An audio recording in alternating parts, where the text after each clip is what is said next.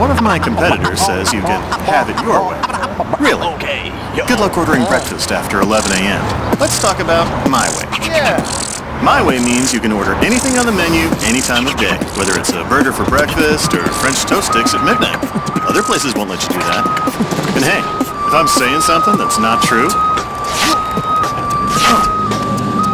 do something about it.